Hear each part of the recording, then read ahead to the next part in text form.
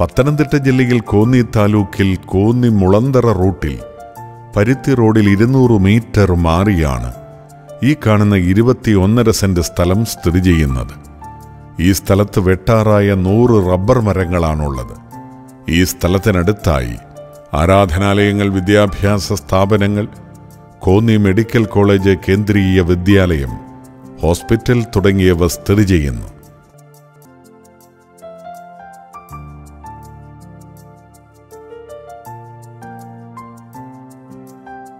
പത്തനംതിട്ട ജില്ലയിൽ കോന്നി താലൂക്കിൽ കോന്നി മുളന്തറ റൂട്ടിൽ പരുത്തി റോഡിലുള്ള ഈ ഇരുപത്തിയൊന്നര സെന്റ് സ്ഥലം സെന്റിന് അൻപതിനായിരം രൂപയാണ് ഉദ്ദേശിക്കുന്നത്.